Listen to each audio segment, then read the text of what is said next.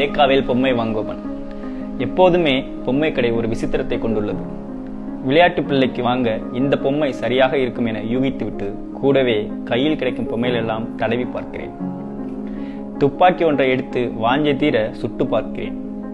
நாய் பொம்மை ஒன்றை தூக்கி பார்த்தேன். எந்திர மனிதனின் சாவியை திருகிவிட்டு எப்படி பேசுகிறான் என்று பார்க்கிறேன். மகிழுந்து ஒன்றை கண்ணாடி பலகையில் ஓட்டி பார்க்கிறேன். குரங்கு பொம்மை ஒன்றை அதன் கையில் வச்சிருந்த வாழைப்பழத்தை பிடுங்கிவிட்டு அளவைத்து பார்க்கிறேன். வானூர்தி ஒன்றை பறக்கச் செய்து பார்க்கிறேன். பூனை ஒன்றை மியாவு என்று கத்த வைத்து பார்க்கிறேன். மாடு ஒன்றை நடக்க வைத்து பார்க்கிறேன். புலி ஒன்றை பயத்துடன் மெதுவாக தொட்டு பார்க்கிறேன். கடைசியில் என்னை மறந்து நானே குழந்தையாக மாறி நிற்கிறேன். எதை வாங்க வேண்டும் என்பதை மறந்து. உண்மையில் ஓரிடத்தில் இருக்கும் இந்த பொம்மைகளுக்குள் எந்த பொறாமையும் இல்லை. புலி வேட்டையாடவில்லை. துப்பாக்கி யாரையும் சுடவில்லை. நாய் கடிக்கவில்லை. பூனை பாலை திருடவில்லை. மாடு கன்றை தேடவில்லை. குரங்கு சேட்டை செய்யவில்லை. எந்திர மனிதன் எந்த வேலையும் செய்யவில்லை. மகிழுந்து யாரையும் தண்ணில் ஏற்றி மகிழ்விக்கவில்லை. என்னோட பெயர் ராஜேந்திரன் விஜயகாந்த். நான் சிங்கப்பூரில் கடந்த ரெண்டாயிரத்தி பதிமூணாம் ஆண்டுலேருந்து வேலை பார்த்துக்கிட்டு இருக்கேன். ஒரு கட்டுமான கட்டுமானத்துறையில் ஒரு பொறியாளராக வேலை பார்த்துக்கிட்டு இருக்கிறேன்.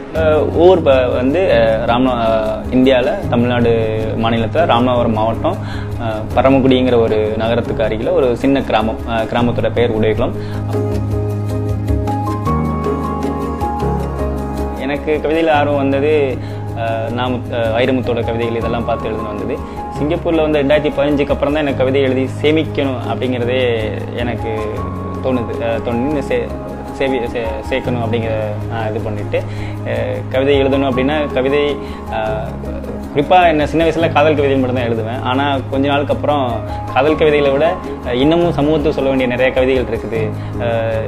ஏழ்மை இயற்கை பாதிக்கும் இந்த மாதிரி நிறைய கவிதைகள் இருக்குது அதை வச்சு எழுதணும் அப்படின்னு தோணுச்சு. அதை வச்சு எழுதினதுக்கப்புறம் தான் கவிதைகளை சேர்த்து வச்சுட்டு இப்போ என்னோடய கவிதை புத்தகம் மனித சிறகுங்கிற புத்தகத்தை வந்து நான் இரண்டு வாரங்களுக்கு முன்னாடி வெளியிட்டிருக்கிறேன். கவிதை தலைப்பு வந்து மனித சிறகுகள். வெளிநாட்டு ஊழியர்கள் வந்து வரும்போது அஹ், தாய்நாட்டில் தன் சொந்த நாட்டில் இருக்கும்போது அவங்களுக்கான வாழ்வாதாரம் வேற வாழ்க்கை சூழ்நிலை வேற. ஆனால் இங்கே நாட்டிலேருந்து ஒரு சிங்கப்பூர் மாதிரி நாடுக்கு வரும்போது நமக்கான இது ஒரு புது ஒரு மேடையாக தெரியும் புது மேடையும் இல்லாமல் புது விதமான வாழ்க்கை முறை வீட்டில் எல்லாருமே வந்து பார்த்திங்கன்னா வீட்டில் அது ஏழை வீடாக இருந்தாலும் அந்த வீட்டுக்கு பிள்ளைங்கன்னா அவங்க அவங்க தான் ரா- இளவரசர் அந்த மாதிரி இளவரசர் அந்த மாதிரி இருந்திருப்பாங்க. ஆனால் இங்கே வரும்போது கொஞ்சம் வித்தியாசமாக இருந்தோம். தனிமை ஊரை நினச்சி ஏங்குறது அப்பா அம்மா நினச்சி சில பேரோட கல்யாணத்துக்காக வந்திருப்பாங்க. சில பேரோட பொண்ணுங்க குழந்தைகள் இருக்கும். சில எல்லாருமே ஒரு பலவித கனவுகளோடு வந்திருப்பாங்க. எல்லாருக்குமே ஒரு வித கனவுகள். என்னோட நாவல் எழுதிட்டு இருக்கோம்னா அதுக்கு தகுதி அந்த நாவலோட தலைப்பு கிதாரி எனும் போர் வீரன். கிதாரிங்கிறது பார்த்தீங்கன்னா நிறைய பேர் தெரிஞ்சிருக்கலாம் நிறைய பேர் தெரியாமல் இருக்கலாம். எப்படின்னா இது ஒரு ஒரு சங்ககால சங்க காலத்துக்கு ஒரு தொன்மையான ஒரு ஒரு சமூகம் தான் இது. இது என்ன அப்படின்னு கேட்டோம்னா ஒரு வாழ்வியல் இயற்கை சார்ந்த முறைப்பை இன்னமும் வாழ்றாங்க. இருபத்தி எல்லாருமே வந்து காடை விட்டு வாழ்ந்து வந்து எல்லாம் வெளியே வந்துட்டோம். நவீன உலகத்தில் இருக்கோம். ஆனால் அவங்க அவங்க வந்து இன்னுமே காடுகள் அப்படிங்கிறது வயக்காடு அதாவது ஆடு ஆடுகளை வச்சுட்டு வயலில் வயல்ல போட்டு அந்த வயலுக்கு வயல் விவசாய நிலத்துக்கான உரத்தை இயற்கை உரத்தை ஆடுகள்கிட்ட வந்து கொடுக்கறது.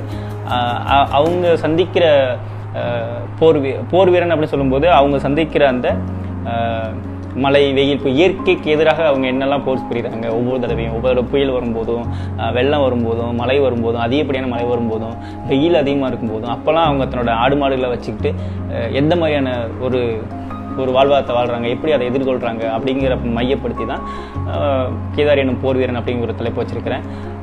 என்னை பற்றி நான் அடிக்கடி சொல்லக்கூடிய வந்து கவிதைங்கிறது வந்து நவீன உலகத்தை இணைக்கக்கூடிய ஒரு திறவுகோல் அப்படின்னு நான் சொல்லுவேன். அடிக்கடி என்னோட சில இடங்களில் நான் குறிப்பிடுவேன் நான்.